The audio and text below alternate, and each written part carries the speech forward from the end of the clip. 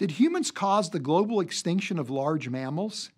Undoubtedly, humans have caused untold damage to the environment. Ecologists are telling us that we're on the cusp of the sixth great mass extinction event. And unlike previous mass extinction events, this mass extinction is triggered not by environmental cataclysms, but by human activity and the damage we cause as human beings to the environment. But this is nothing new. It's sad to say that human beings have caused damage to the environment throughout most of our history here on planet Earth.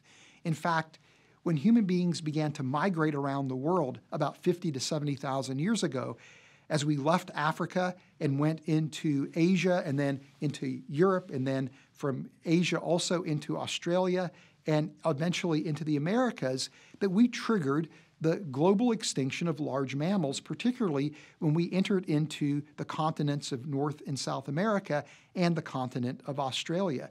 This is even more remarkable because these humans would have had primitive technology and it would have been migrating in relatively small numbers. How could small, a small number of human beings with primitive technology create this kind of environmental damage? Well, the Bible provides some insight and understanding as to how that is the case. The Bible tells us that human beings are made in God's image. That means, as human beings, we are special. We stand apart from all other creatures. We are exceptional. We have qualities that uh, human beings alone possess. We also read from Scripture that human beings are now in a fallen state, that Adam and Eve rebelled against God and introduced sin into the creation. And as a result of that, we are no longer able to carry out the mandates that God has given to us as His image bearers. That is a result of introducing sin into the creation, as a result of the fall, that Adam and Eve's relationship with God was alienated, that their relationship with one another and with other human beings is alienated, and ultimately their relationship with the creation was alienated as well.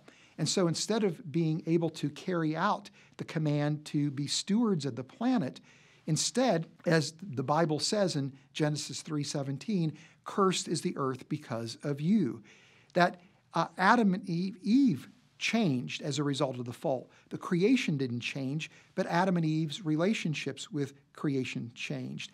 And as a result of that, the relationship their descendants have with creation as well. So, as a result of our exceptional nature and our sinful nature, we now are causing enormous amount of damage to the environment and the global extinction of large mammals when humans began to migrate around the world exemplifies that very point.